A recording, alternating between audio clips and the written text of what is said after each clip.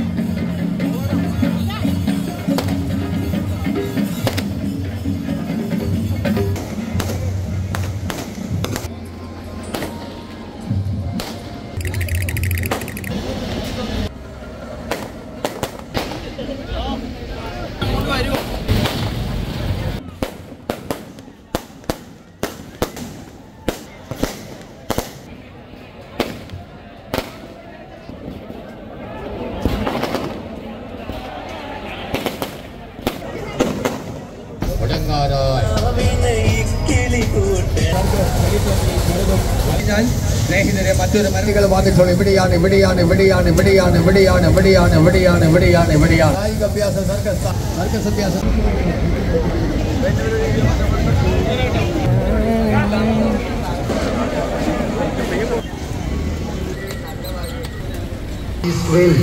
Police station of committee.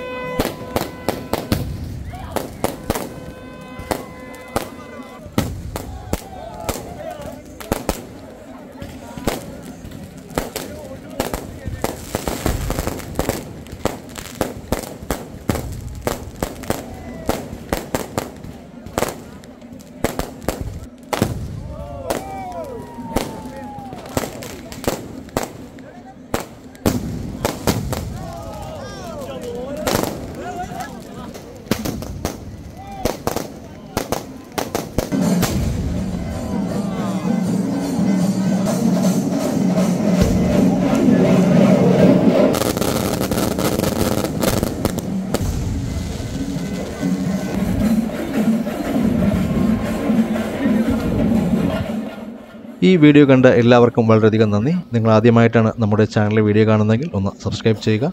കൂടാതെ മറ്റുള്ളവർക്കും ഒന്ന് ഷെയർ ചെയ്ത് കൊടുക്കുക. നമുക്ക് മറ്റൊരു പുതിയ വീഡിയോയുമായി വീണ്ടും കാണാം. അതുവരെ എല്ലാവരും ടേക്ക് കെയർ ബൈ